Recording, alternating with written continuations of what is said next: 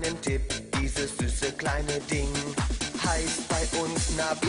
Dingelingeling, uh, dingelingeling, dingelingeling, das Ding da unten nennt man Ding.